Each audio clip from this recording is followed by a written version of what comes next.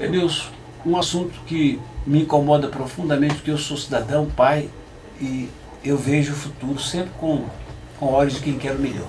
Estou assustado, a palavra é essa, com a decisão do Tribunal de Justiça de Minas de encarregar a Polícia Civil de cuidar das armas que serão apreendidas daqui por diante pela PM, pela própria Civil, armas essas que já estarão dentro de um processo que ficarão em delegacias. Mas que delegacias que nós temos? Como é que, como é que vocês que são da Polícia Civil estão entendendo isso? Eduardo, assustado fiquei eu também e muito indignado. Eu tenho muitos amigos desembargadores, a gente é também da, da base jurídica, das carreiras jurídicas, e a gente tem esse contato. Eu acredito que foi burocratas que prepararam, sabe aquelas coisas que preparam assim na, na calada da noite e levam para o presidente assinar?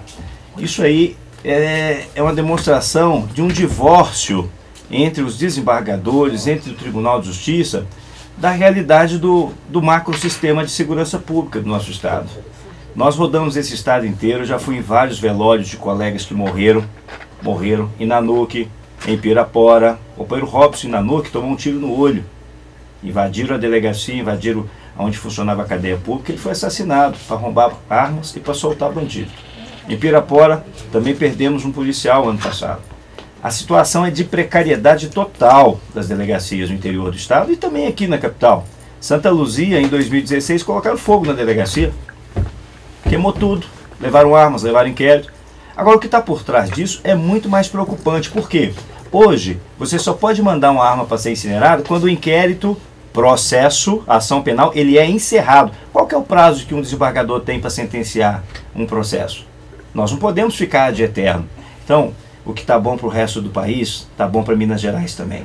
É obrigação dos tribunais de justiça remeter esse armamento para o Exército e fazer a incineração. Eu falei o seguinte: o, o, 30 anos atrás, a Polícia Civil tinha 12 mil homens, certo? Verdade. E nós tínhamos 600 e poucos municípios. Hoje nós temos 853 municípios. Quantos homens e mulheres tem a Polícia Civil? Não chega a 9 mil para atender 20 milhões de mineiros, atender a, a habilitação de condutores, a expedição de CNH, também cuidar de toda a frota veicular do Estado e a, e a identificação civil e criminal, com a expedição Agora, da carteira de identidade. Não é pouca coisa. O estado de penúria da nossa Polícia Civil, no que toca a recursos humanos e materiais, o estado de descalabro absoluto de conservação das delegacias, eh, não é testado nem por você nem por mim. É um trabalho que foi divulgado, que está repercutindo muito no Ministério Público em todo o Brasil, destacando a fragilidade mineira. Eduardo, não só a infraestrutura, mas também o efetivo. O Ministério Público definiu que nós tínhamos que ter pelo menos o dobro do nosso, nosso efetivo. É o que estabelece a nossa lei orgânica, 18.500 homens. Nós estamos cobrando do governador diuturnamente a, a, o complemento dos nossos quadros efetivos. Temos 745 excedentes do concurso de investigador prontos aí, foram classificados o concurso, prontos para serem chamados. Estão aguardando que o governo possa chamar mais. Outro problema grave que nós temos aí são as delegacias do interior do interior, onde tem um plantão regionalizado. Nós precisamos acabar com isso. A população está andando muito, a polícia militar está andando muito para entregar uma simples ocorrência. Nós não temos delegados na condição suficiente.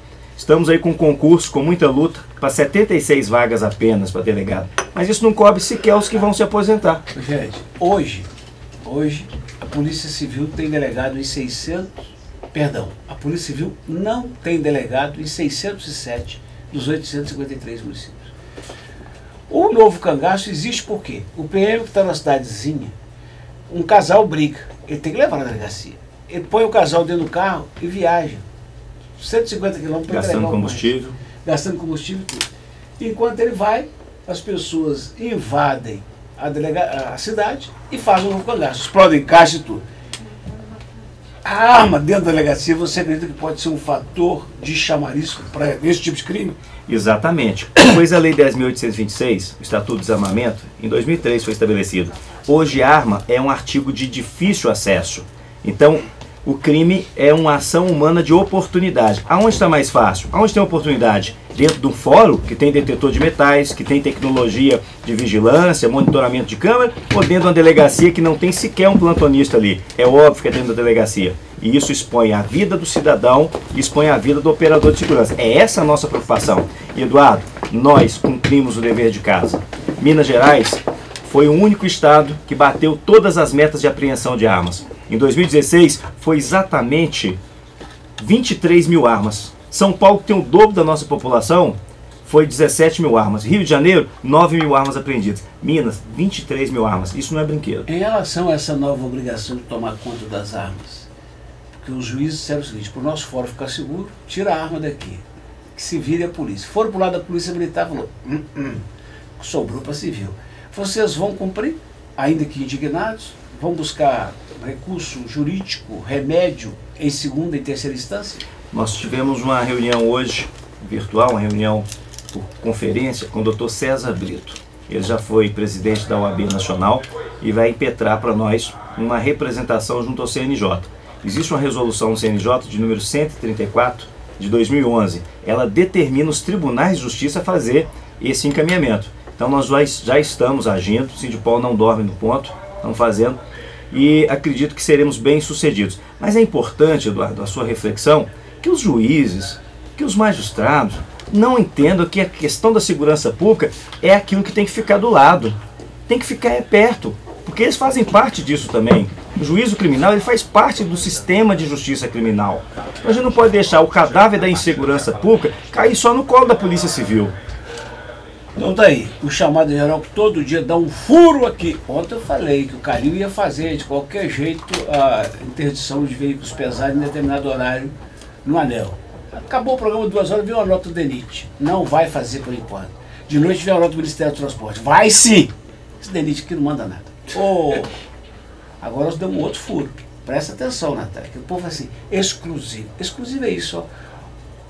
O presidente do Sindicato dos Policiais Civis de Minas, Denilson Martins, acaba de anunciar que César Brito, ex-presidente da OAB Nacional, é o advogado escolhido para impetrar o mandato de segurança junto ao Supremo Tribunal Federal, a mais alta corte do país, para obrigar, e quem sabe o Conselho Nacional de Justiça, para obrigar o nosso TJ, Tribunal de Justiça, a rever a portaria que transferiu para a Polícia Civil a guarda das armas. Sindicato é isso. Um abraço, Denilson. Obrigado, Eduardo. E se você me permitir, um recado para o nosso governador Pimentel, não abandona a Polícia Civil. Nós temos aí o projeto de lei 3284, que ele vetou, que prevê o retorno dos examinadores aposentados para ajudar a dar um reforço para a Polícia Civil. E ele vetou. Deixando um recado aqui, não faz isso não, reveja esse veto, que é muito importante. Bacana.